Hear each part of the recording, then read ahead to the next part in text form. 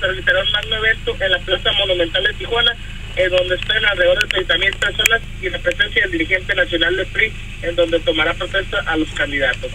Hasta aquí me reporto desde Mexicali. Gracias, Cristian. Buenas tardes. Buenas tardes, estamos en contacto.